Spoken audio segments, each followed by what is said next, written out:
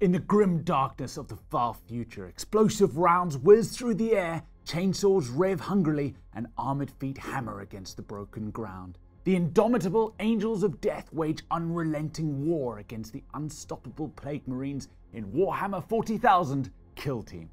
Hello there. In this video, we're going to show you how to paint the Angels of Death and Plague Marines kill teams from the Warhammer 40,000 Kill Team starter set. The paint we'll be using are on screen now. You can also find a paint list in the description below. We also have a list of the additional equipment we've used, but you can use whatever brushes you feel most comfortable with. If you're new to painting or want to brush up on your skills, you can check out our Painting Essentials playlist to learn all about our paints and techniques. Before we get painting, we first need to build our models. Building them is super simple, and we can use the guide that comes in the box to help us. You'll notice that you can just pop the miniatures off the sprue. Gently push at the connection points and the bits will come off for you. There's no need for any glue. Simply line up the correct pieces and carefully push them together. You should have your miniatures built in no time at all, and then we can crack on with the painting. When it comes to the terrain in the box, it's a real treat. For the first time ever, you can find ready to use terrain that is absolutely awesome and super simple to put together.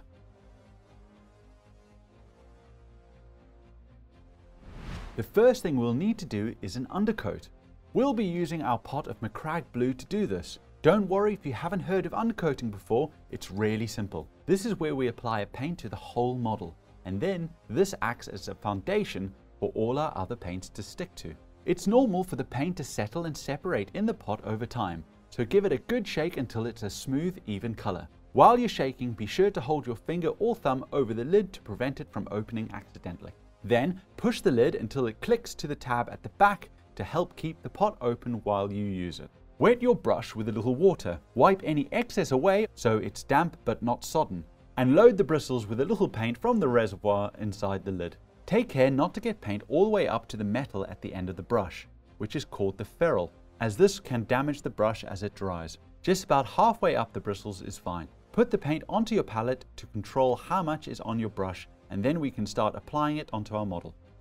You can be really messy at this stage, just make sure you get Macragge Blue into every little nook and cranny and flat surface. You'll notice that the first coat might seem to struggle to stick to the plastic. Don't worry, just keep going and cover as much as you can. Once the first coat is dry, apply a second coat in the exact same way. You'll find the coverage of the paint is much better this time around. And when that's dry, apply a third coat if you think you need it. The end result should look something like this, with the model covered evenly in blue. Well done, you've just undercoated your first model, and now your Ultramarines captain is well on his way to being painted. Alright, with the model fully undercoated, we're now going to start a base coat. Base coating is what we call it when we're blocking in the main colors of our model. The paint is normally a bit more pigmented than usual, and this allows us to cover over the detail a lot easier. For our first paint, we'll be using Abaddon Black, a base paint, and then picking out the inside of the cloak, gun casing, ribbing between the armor panels, and the loincloth. I've chosen to paint the inside of the cloak and loincloth black here, because I feel that it makes it a lot easier to paint. If you would like to paint them a cream color, you can use Rakarth Flesh. When painting the inside of the cloak and armor ribbing, I'm just taking a bit more care so that I don't paint on the blue armor panels.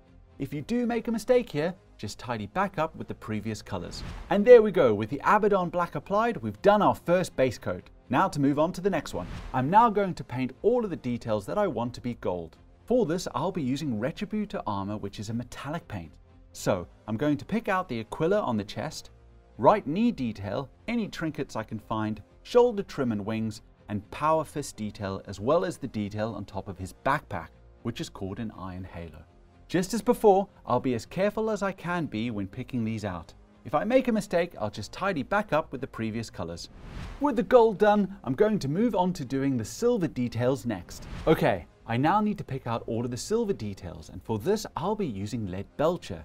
I'm looking to paint the working metal areas of the gun, power fist, and any other little rivets and working metal areas on the rest of the armor. Just take a bit extra care with these details and try to be as neat as you can. Once you've finished picking out these details, I would advise changing the water in your water pot. This is because it will be full of small metallic flakes and we don't want to get any of these into the rest of our paints. Okay, our metallic details are done. Now we just need to pick out the rest of the base coats. We're almost done with our base coats, just a few more little details to do. Our next ones will be the tassels and wax seals that we can find and we're using Screamer Pink to do this. Nice and easy details to do, just take your time and be as neat as you can. Once that is done, we need to paint the outside of our cloak as well. Because this is a larger flat area, just remember to let your first layer dry completely before coming back to do another. This will help to avoid any unwanted texturing that may happen if you continuously paint the same area when it's wet. Nice and easy details to do, just take your time and be as neat as you can. Awesome, Screamer Pink has really pumped some color onto our model and he's starting to look great. Next up is the skin and parchment that we can see. We're using the same paint for both of these areas. We'll be using Rakarth Flesh. Be as neat as you can around the previously painted details. Don't worry if you don't cover the area straight away with this paint. Just make sure the entire area has paint on it Wait for it to dry completely and then come back to do another coat. Repeat this until you have a nice solid base coat. Rakarth Flesh takes a couple of layers to get full coverage, but it's totally worth it as it looks so good when completed. Our final detail to pick out on the Marine is the leather. So this will be any leather pouches or holsters that we can find as well as his belt. For this, we're using Catachan Flesh. Once we're done with that, we then need to paint the soil that we can see on the base. We're using Catachan Flesh for this as well. Right, with that done, there's just one more base coat to go. The final detail to base paint is the rock that he is standing on. For this, we're using Mechanicus Standard Grey. This is a great contrasting color to our brown that we've used on the soil and really helps to make the base pop out. Make your way around the base picking out all of the rocks and debris that you can see. When your first layer is dry, remember to do another in order to get good coverage. As a side note here, when you get round to painting your Eliminator Sniper, you can also use Mechanicus Standard Grey to paint his cloak. Okay, that's all of our base coats done. Our Space Marine Captain looks awesome. We're now going to add a shade to him in order to tie all of the details together. The final thing we're going to do is apply Agrax Earthshade to the entire miniature. This paint is different to the others because it is a shade paint. Shade paints are very thin and are designed to slightly tint flat surfaces of the miniature while settling into recesses. You'll notice how this creates depth on the miniature by darkening down those recessed areas. Applying a shade is a quick and easy way to really take your paint job up a notch. We won't need to add any water to this paint. Just take it straight from the pot, making sure there isn't too much on your brush.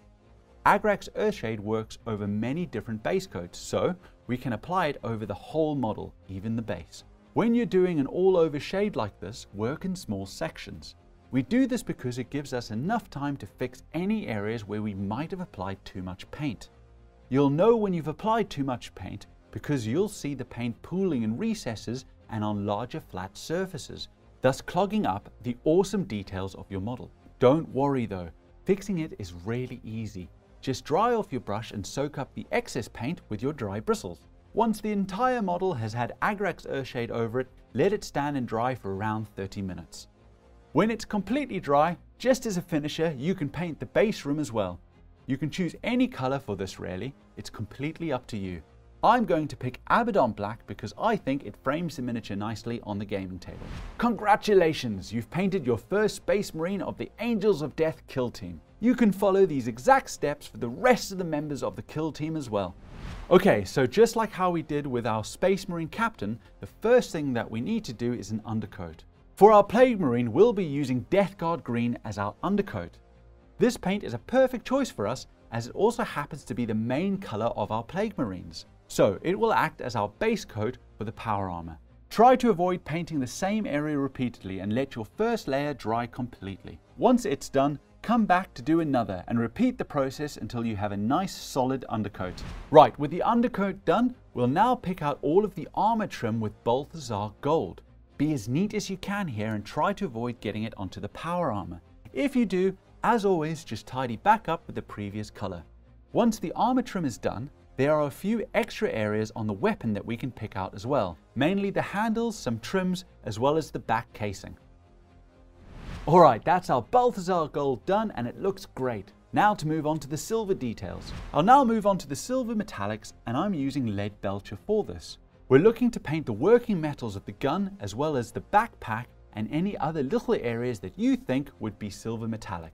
If you're lost for where these are, you can always check out the box art for inspiration. When you're finished with that, just like how we did with the Space Marine, change out your water in your water pot, as we don't want any metallic flakes in the rest of our paints. Okay, that's our metallics done. Let's crack on with the rest of the base coats. Right, with metallics done, I'm now going to use Abaddon Black to pick out the gun casing and any piping that I can find. Black will show up really starkly on any other details, so just try to be neat with this and don't forget to tidy up with the previous colors if you make a mistake. Awesome, you'll notice that your Plague Marine is really starting to come together at this point. Time to move on to some of the more gribbly bits.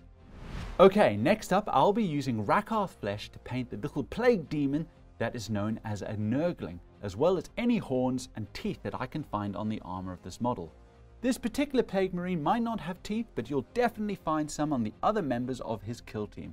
So just use Rakarth Flesh for those.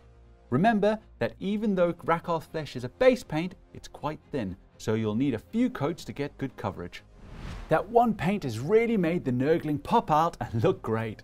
All of the Nurglings are actually my favourite things about the Plague Marine kill team. Alright, I'm now going to focus on all of the slimy goo and gunk that I can find on the model. For this, I'll be using Averland Sunset. There are a lot of previously painted details near these, so I'm just going to take my time and try to be as neat as I can with these details. Slime and gunk can be found on just about all of the Plague Marines. It doesn't just have to be Averland Sunset either. Feel free to paint it whatever color you choose. The advantage of Averland Sunset is that it clashes really nicely with the green power armor, so it helps to make it stand out even more. Next up will be the tongue of the Nurgling. For this, I'll be using Screamer Pink. It's a smaller detail than just about everything else that we've painted. So, take your time when doing this and try to be as neat as you can be. A good tip when trying to be neat is to brace your painting hand against something. There are a few ways to do this, but I'll show you two that are more common. Firstly, you can try to keep your wrists next to each other like this, and you'll find that your hands are far more steady. The other method is to brace some of your fingers of your painting hand against either the painting handle or your other hand. This is the method that I do. I find that if I brace my fingers like this, they act as a little pivot point for me and I can keep my hand steady. Play around with these two methods and see what works for you. Once done with the tongue, just pick out all the fleshy and tentacly bits that you can find on the model as well. Screamer Pink has really made those fleshy bits come to life and look awesome. Plague Marines are so much fun to paint. We're now going to use Corax White to paint all of the little fungal infection-like details that we can see coming out of the armor and on various other details of the model. Again, these are smaller than most other details, so take your time with the process and be as neat as you can. Right, with those done, just a few more base coats to go. Next up, we'll be painting the base itself as well as the loincloth. For these, we'll use Catachan flesh. This will help to tie it in with our Space Marine kill team and make it look like both kill teams are fighting in the same area. Little details like this really go a long way in telling a story and bringing out the character in your models. Once the base is done, then we just need to pick out the loincloth as well. Alright, with the loincloth and base picked out, there's just one more base coat to go. The final detail to base coat will be the rock that our Plague Marine is stood on. Just the same as with our Space Marine Captain, we'll paint the rock with Mechanicus Standard Grey. And there we go, our Plague Marine is fully based and looks great. Okay, we're moving on to the shade paint now, and our first will be Carroburg Crimson. We're going to use this paint over the nurgling and fungal infection details that we can find. Just like before, when using a shade paint, do each area at a time and watch out for any pooling. If you see any, dry off your brush and soak up the excess paint. The next shade paint will be Agrax Earthshade and we'll use this to go over all of the rest of the details on the model, including the base. Try to avoid any areas where you've used Carroburg Crimson and remember to paint in sections and look out for any pooling. Once you've covered the rest of the details, leave the model to dry for around 30 minutes. When it's completely dried, you can then use Abaddon Black to paint the rim of the base. And there we go, you've completely painted your first Plague Marine. You can use the exact same steps to paint the rest of the models in your Plague Marine kill team. In this video, we've shown you how to paint the Angels of Death Plague Marines kill teams, so that you can get them on the gaming board in no time at all. We've had a lot of fun with this video and we hope it's given you the inspiration to get your own kill teams painted. For more painting videos head over to our YouTube channel. If you need more help you can always head to one of our Warhammer stores where our friendly staff will be more than happy to help. Well, we hope you've enjoyed this video and we'll see you again soon. Bye bye!